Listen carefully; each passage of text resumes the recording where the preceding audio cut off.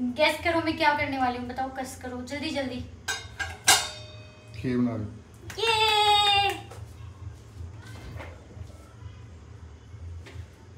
ये मैंने अपने लिए चावल भिगो के रखे हैं और मैं खीर बनाऊँगी जो कि मैं खीर हर हफ़्ते आजकल बना रही हूँ। इसलिए मैं मोटी भी होते जा रही हूँ और मुझे खीर बनाना बहुत अच्छा लगता है।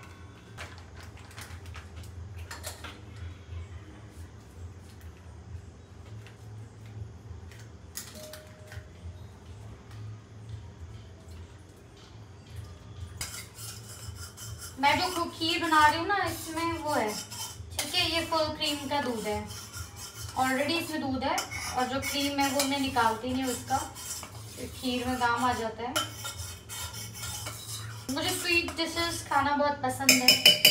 तो बाहर से खा खा के, फालतू का मोटापा करने से अच्छा है, घर पे हेल्दी सा खीर खाओ। खीर तो कितना हेल्दी है।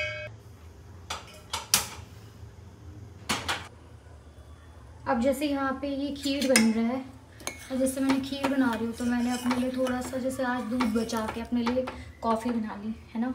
तो अब जो ये ये वाला दूध है ना, ये वाला दूध, इस दूध का जो मलाई है ऊपर ऊपर, अब मैं इस मलाई को भी खीर में डाल देती हूँ। आई डोंट नो बहुत सारे लोग करते होंगे ऐसा बट मैं भी कुछ नया सीखी हूँ, वो बता रही हूँ कि मैं इसके पूरे इस मलाई को उसमें डाल देती हूँ ताकि वो थोड़ा और गाढ़ा हो जाता है। स्टार्च लेवल भी बढ़ जाता है इसका।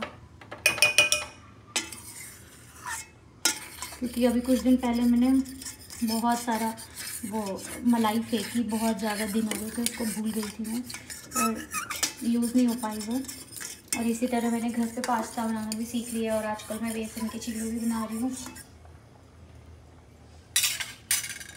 ये मैंने यहाँ पे आलू चॉप करके रखे हुए हैं आलू फ्राई बनाने के लिए। और यहाँ पे जैसे मैं ये खाना बना रही हूँ, दूध है यहाँ पे, फ्रिज में डालना था तो ये भाई साहब यहाँ पे बैठे हुए हैं। इनको देखना है, फिर इनको शुनी शुनी इनकी नाक चलती है, फिर इनकी नाक चलती है तो फिर ये खाने पे झपटा मारते हैं। देखो देखो, नाक देखो जरा इनकी। ओहो हो, खुशबू आ गई दूध की। दूध के बर्तन में जो झपटा मारा ना, टॉमा, मार खाएगा। सच में माई माई खाएगा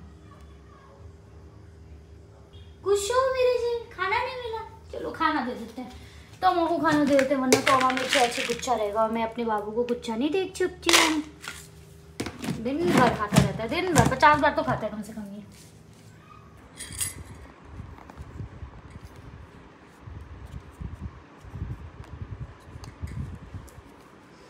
ये रही मेरी कॉफ़ी और ये मेरा मिंत्रा से सामान आ गया।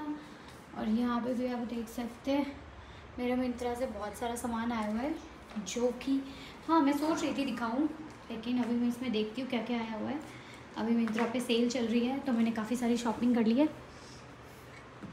नहीं, लेकिन मैं पहले कॉफ़ी पी लेती हूँ, क्योंकि कॉफ़ी मेरी ठंडी हो रही है। और ये मेरी खीर पक रही है अभी। दूध भी कम हो गया है इसमें और ये ऐसे हो चुकी है। पर अभी भी टाइम है। और ये चावल भी मोटे वाले थे जो कटे हुए से होते हैं। मैंने वो वाले लिए थे। अब मैं ज़्यादा कुछ नहीं डालूँगी इसमें। लोग तो शायद बहुत कुछ डालते हैं बट मैं डालती हूँ सिर्फ़ और सिर्फ़ ये दो चीज़ें। इनका, इनको ऐसे ऐसे कूट कूट के डालती हूँ। और इलायची भी डाल देती हूँ। लोग इलायची भी डालते हैं शायद तो मैं ये ये ही डालती हूँ बस। अब ये कूटने वाला बर्तन, ये थोड़ा सा मुझे गंदा लग रहा है तो मैं यहाँ पे रख के इनको काट लेती हूँ नाइफ से।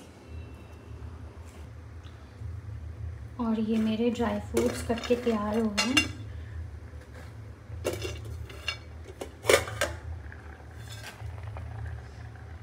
तो मैं इसमें जो है जो वो चीनी है, चीनी चीनी में बहुत लास्ट में डालती हूँ, क्योंकि अगर मैं चीनी को पहले ही डाल दूँगी तो चीनी बहुत सारा लगेगा और इतना सारा शुगर में खाना पसंद नहीं करती तो मैं बिल्कुल लास्ट में करती हूँ, जब मैं बिल्कुल बंद करने वाली होती हूँ।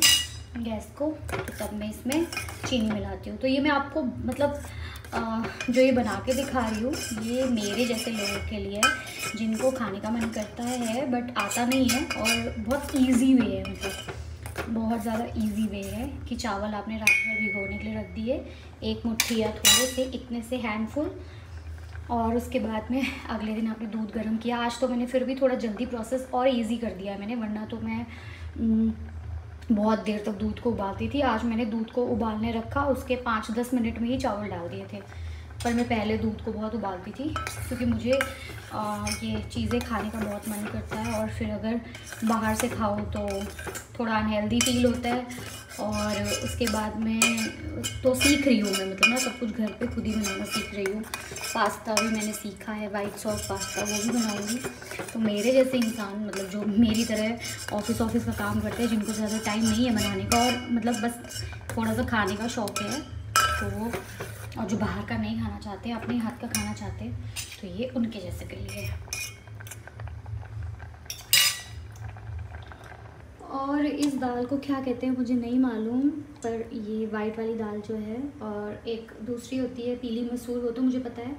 नहीं, पीली मूंग, पर ये इस दाल का नाम मुझे नहीं पता। पर मैंने सोचा इस बार इसका चीला बना के देखती हूँ तो ये मैंने भिगो दी है।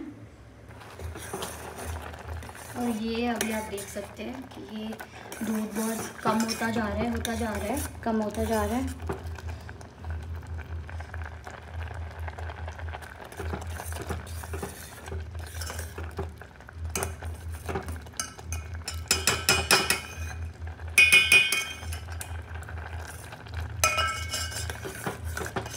और जो साइड में है, ये लग रहा है। इनको मैं साथ के साथ ऐसे ऐसे करती हुई जाती हूँ ताकि ये परत बनती ना जाए, क्योंकि बहुत टेस्टी होता है, ये मलाई होती है। दूध की और मैं थोड़ा सा खाना वाना बनाते टाइम पे थोड़ा सामान वामान फैला देती हूँ, काफ़ी मैस कर देती हूँ। मैस मचा देती हूँ मतलब। अब मैं मिंत्रा के पैकेट खोलती हूँ, ठीक है?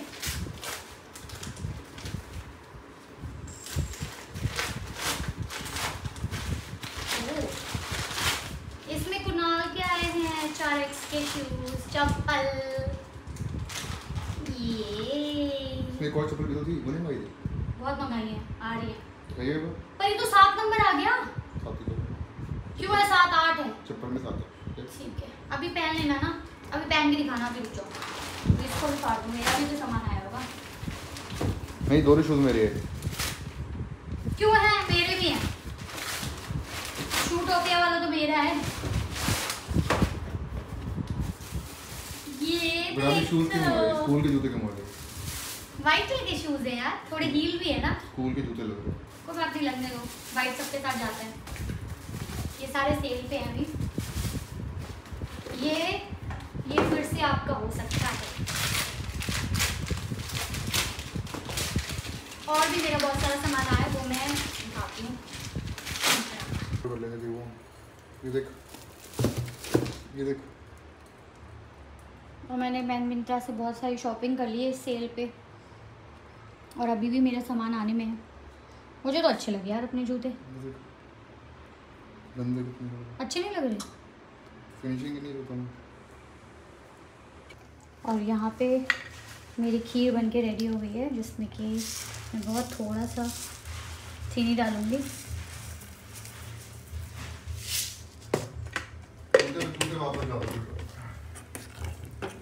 ये लग गया, देखो, थोड़ी देर इधर नहीं देखा तो ये लग गया नीचे।